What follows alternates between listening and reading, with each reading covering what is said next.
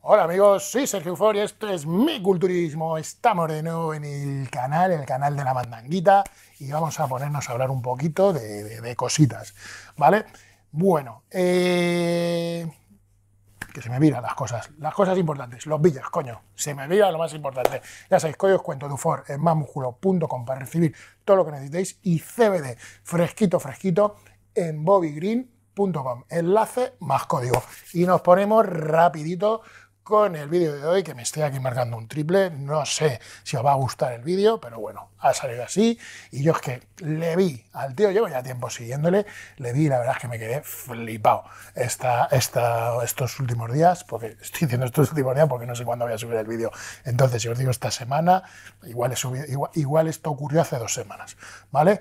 Eh, bueno, podemos hablar de un fenómeno, un nuevo fenómeno. No es nuevo porque ya eh, los que sois muy frikis, los que sois muy puristas y estáis en redes, eh, supongo que ya lo conocéis, es Carlos Thomas Jr., un culturista que va a debutar en breve, va a debutar creo que en cuatro semanas.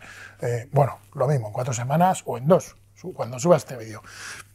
Carlos Thomas Jr., un culturista que se hizo profesional el año pasado, ¿de acuerdo? En la categoría de súper pesado.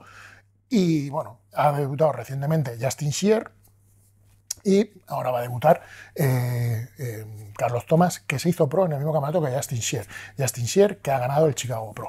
Bueno, Carlos Thomas, hemos visto de él una exhibición en el Víctor Martínez eh, Classic, si mal no recuerdo, que ha el Víctor Martínez Classic, en plena preparación para dentro de unos días en el, en el Texas Pro y nos hemos quedado absolutamente flipados. Eh, Carlos Tomás es un, pues un, tipo del que esperábamos muy poquito, o yo al menos esperaba muy poquito, porque sí, bueno, es un culturista que al fin y al cabo, hoy en día, en cuanto sale uno que tiene algo especial, pues hace que destaque mucho. Y eso es lo que vimos cuando se, cuando se hizo, eh, cuando se hizo eh, profesional en los National. Un culturista que, bueno, que llamaba la atención, corta estatura, bastante masivo, bastante llenete, pero yo tampoco, la verdad, tampoco era algo que me, que me llevara, eh, que me llevara mucha fascinación. Es cierto que tampoco eh, me fiaba demasiado las fotos porque es estaba asesorado, si mal no recuerdo, por, Patrick Tour, y bueno, al final lo que muchas veces digo que las fotos tampoco te puedes fiar.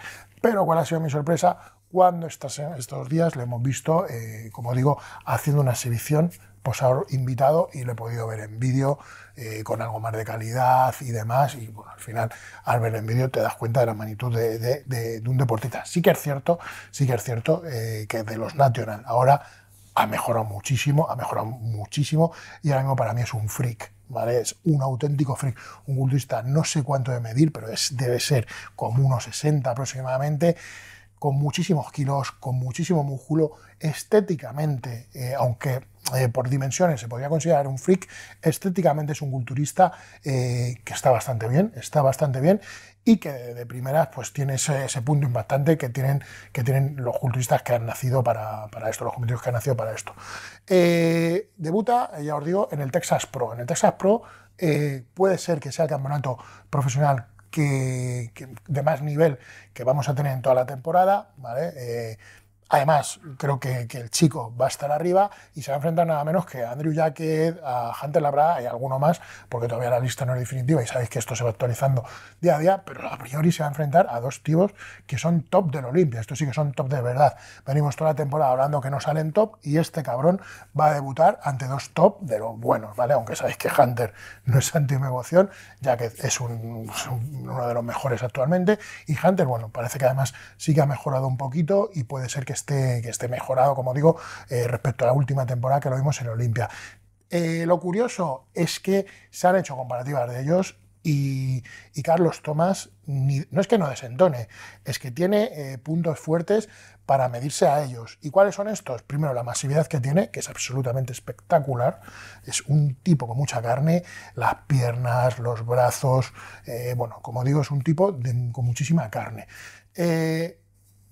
Y, estéticamente, eh, que es lo que me impacta más de él, pese a ser tan de corta estatura y estar tan lleno, pues un poco lo que se podía decir de un Nick Walker, que es un culturista de, de, poca envergadura, pero muchísimo músculo, estéticamente es muy bueno, ¿vale? Tiene una amplitud clavicular sobresaliente, mucho de las piernas, cintura bastante remetida, y eso hace que sea un culturista, para lo que se ve actualmente, sea un culturista típico. Sí que es cierto, sí que es cierto, yo ya lo vaticino, que no va a llegar a un punto muy dramático, que sí que le falta mucha separación, sobre todo en las piernas y tal.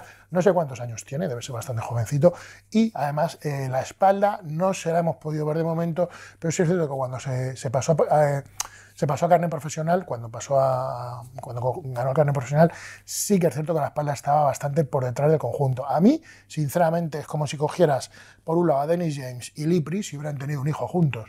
Me recuerda muchísimo en, algunas cosas a Dennis James y muchísimo eh, por la envergadura, por, por, la cantidad de masa muscular y demás a Lipris.